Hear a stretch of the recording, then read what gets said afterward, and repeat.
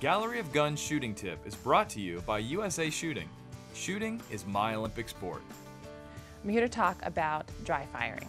Dry firing is something that you can do on the range and also off the range. On the range, it's something that's very useful to kind of fine tune your process and to kind of go through the steps as a practice mode. So I use that when I'm leading up to kind of my first shot of the competition. I will dry fire a few times so that I know that I'm mentally and my body is ready, my position is ready to have that perfect first shot going into that competition. But it's also really useful off the range too. So at home, Ammo is very expensive, but you can use dry firing as a way to practice your positions, practice those fundamentals like your, your visualization, your shot release, your positions off the range, so then you're not necessarily using the cost of ammo, but you're also training and becoming the best shooter that you can be. Gallery of Guns is an official sponsor of USA Shooting.